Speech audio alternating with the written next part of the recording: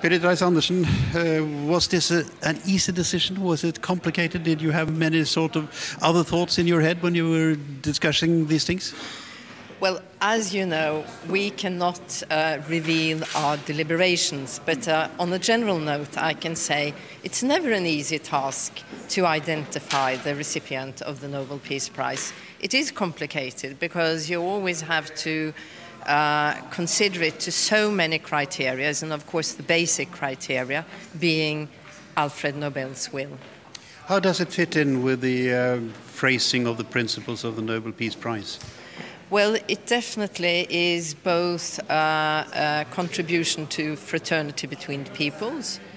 Uh, it is also, in a modern sense, a contribution to Peace Congress, since there is, in fact, a peace treaty here.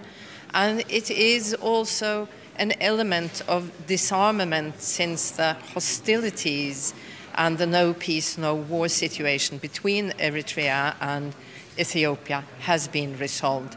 So now, if we sum up, it actually fits all the three criteria of Alfred Nobel's will.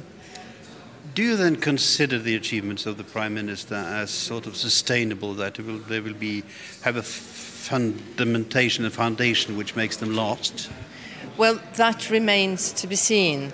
Uh, what uh, is important to the Norwegian Nobel Committee is that we identify this as the most significant contribution to peace in the past year or during the past year. Uh, of course, we hope it will be sustainable, and we also identify his efforts as having such a nature that they stand a chance to be sustainable. Uh, but the future is not under our control.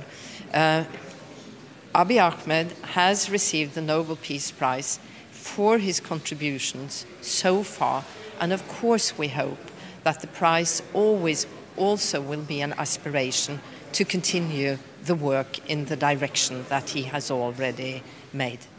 And the next test then perhaps will be whether or not the um, uh, democratic elections are being held as planned in about one and a half years' time. Well, um, we have also in our reasons made reference to his promise of um, setting out uh, democratic elections in Ethiopia. And of course, we think that would be very important in uh, the democratization and development of Ethiopia.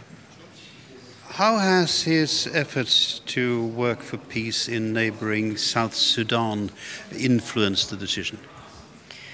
Well, what I can say is that the parties themselves have recognized uh, Prime Minister Abiy Ahmed as his efforts of being significant, and I think uh, they are the ones we really should listen to. Uh, but of course, uh, it is, he has been a facilitator, a contributor. Towards the end of the day, it's always the parties who create peace.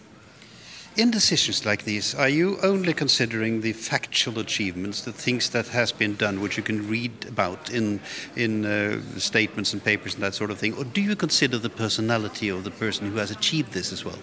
Well, we do hope that we identify a laureate who has uh, made achievements that fits the will, but also that it is a person who is um, has a personality and who is dignified enough to carry this most prestigious prize of the world. And of course, this is a debate if we always identify the right person, but we are confident that uh, Prime Minister Abiy uh, has the qualities uh, that are necessary to carry this most important prize. The Prime Minister also has a background in the UN peacekeeping forces. Is that of importance in this case? Well, as I understand, um, both his academic career and his military career and his career in public administration have definitely been ingredients to uh, develop uh, his uh, political thinking and his personal interests that has enabled him to be a relatively young man and carry out these formidable efforts that he in fact has carried out. Do you think the prize will have an effect for the entire region? I mean, is it an example which might be followed or be an inspiration for other peace pursuing politicians in the area? Now, I do not believe that the Peace Prize is a quick fix in such a troubled region. There's no uh, reason to believe that. But I do hope that the Peace Prize will encourage and inf- influence peace processes, and I do hope that it will encourage Prime Minister Abiy to continue um, participating and offering his assistance in conflicts as a mediator in peace processes. Did you hear his reactions when he was told about the prize? No, I have not been so far. well, just spoken to him, and he was very, very emotional and very, very happy for it. Oh, I'm very happy to hear that. I'm very happy to hear that. Thank you.